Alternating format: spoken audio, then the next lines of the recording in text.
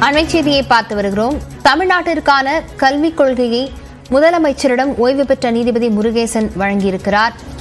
புதிய தேசிய கல்விக் கொள்கைக்கு மாற்றான மாநில கல்விக் கொள்கையை உருவாக்க இரண்டாயிரத்தி இருபத்தி இரண்டில் குழு அமைக்கப்பட்ட நிலையில் தற்போது அது தொடர்பாக நீதிபதி முருகேசன் முதலமைச்சரிடம் வழங்கியிருக்கிறார். விவரங்களுடன் செய்தியாளர் அபினேஷ் இணைந்திருக்கிறார். அபினேஷ் விவரங்களை பதிவு செய்யலாம்.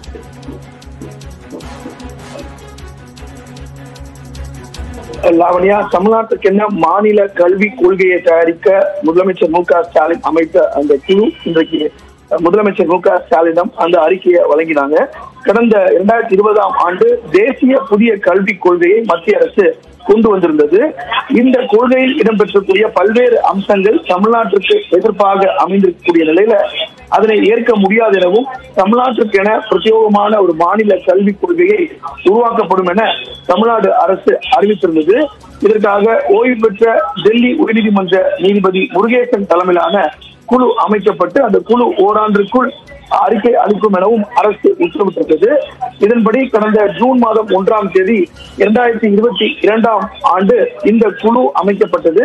இந்த குழுவில் கல்வியாளர்கள் உள்ளிட்ட பல்வேறு பிரதிநிதிகள் இடம்பெற்றிருந்தாங்க. பொதுமக்கள் பெற்றோர் சமூக ஆர்வலர் என பல தரப்பினரும் இருந்து கல்வி நிறுவனங்களிடமிருந்தும் ஆலோசனைகளை பெற்று முருகேசன் தலைமையிலான ஓய்வு பெற்ற நீதிபதி முருகேசன் தலைமையிலான குழு அறிக்கையை உருவாக்கும் பணியில் தீவிரமாக செயல்பட்டது. ஓராண்டுக்குள் பணி முடியாத நிலையில கால நீட்டிப்பு இந்த குழுவுக்கு வழங்கி அதன் பிறகு இந்த அறிக்கை என்பது இன்றைக்கு தயார் செய்யப்பட்டிருக்கிறது. தமிழ் மற்றும் ஆங்கிலத்தில் வரைவு அறிக்கை தயார் செய்யப்பட்டது. நாடாளுமன்ற தேர்தல் அண்மையில் வந்து நடந்து முடிந்த நிலையில அறிக்கையை தமிழக அரசுக்கு சமர்ப்பிப்பதில் மேலும் கால தாமதம் ஆன நிலையில அஹ், பள்ளிக்கல்வித்துறை உயர்கல்வித்துறை அதிகாரிகள் அதில் இருக்கக்கூடிய அம்சங்களை ஆய்வு செய்திருந்தாங்க.